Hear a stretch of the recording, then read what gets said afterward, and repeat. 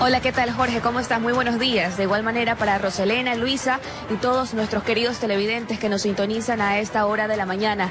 Yo me encuentro en Sauce 6, al norte de la urbe porteña, donde la noche de ayer se registró un ataque contra una propiedad privada. Esta ocasión se trató de un vehículo de un morador del sector. De lo que se conoce preliminarmente, quien realizó este ataque fue una persona que ya había amenazado al ciudadano en días anteriores. Inclusive ya la víctima puso una denuncia en la fiscalía. Como ustedes pueden apreciar en estos momentos, estamos enfocando el lugar donde eh, se dio este incendio del vehículo. Allí quedan algunos restos del automotor que ya ha sido retirado del sitio. Pero primero entonces vamos a revisar un reportaje que hemos preparado sobre este hecho que se registró la noche de ayer en este punto del norte de Guayaquil. Veamos.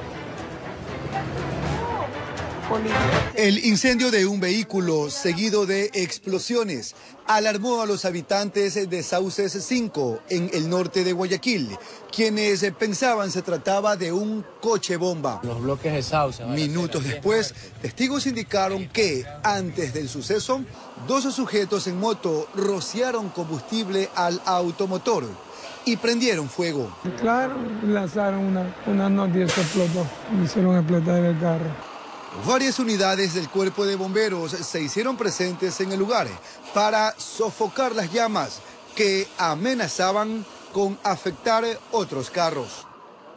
El propietario del vehículo informó a la policía que tiene problemas con un sujeto de la zona, el mismo que ya lo habría amenazado en varias ocasiones por lo que lo tiene denunciado en la fiscalía. Puede haber causado una tragedia ahí. Claro, pues no es que había más carros y los carros el resto lo sacaron, lo empujaron, lo empujaban. El atentado ocurrió a las 22 horas de este lunes, mientras regían el toque de queda. Incluso poco antes de que policías y militares patrullen el sector, con la finalidad de hacer cumplir la medida y evitar justamente este tipo de hechos. Se respeta el que, el que, el que sabe lo que es esto que queda y el que sabe que aquí es viva la patria aquí. Informó Jorge Salazar.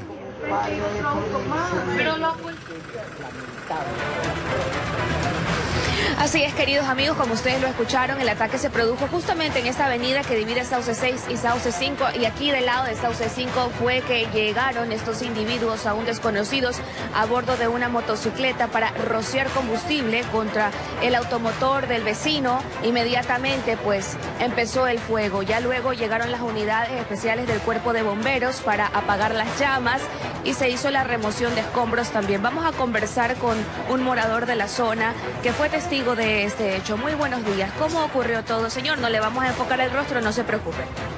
Bueno, eh, aquí el personal ya estaba durmiendo cuando comenzaron a gritar los vecinos, incendio, incendio, y ahí bajamos.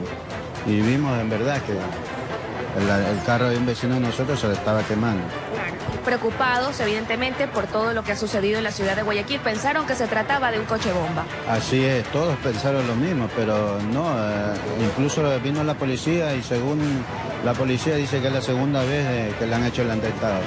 Y no se conoce por qué motivo, ¿no? No, no se conoce. No, no sabemos por qué. Y el señor igual eh, sigue todos los procedimientos porque vemos que acudió a las autoridades respectivas y se encuentra preocupado por su integridad. Lógico que él no quiso dar las declaraciones.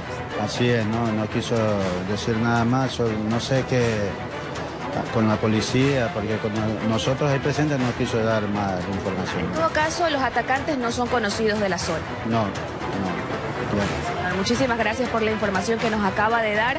Allí ustedes pueden evidenciar los restos que quedan en ciertas partes del vehículo que fue incendiado, luego ya del trabajo que realizaron las unidades respectivas, donde removieron el automotor. Importante resaltar que eh, las filmaciones de las cámaras de videovigilancia de la zona van a ser sumamente importantes para todo el trabajo investigativo que realice la policía. De hecho, aquí en este predio tenemos una que sabemos que eh, la propietaria de este inmueble la ha colocado justamente para eh, vigilar su vehículo que se encuentra aquí al pie.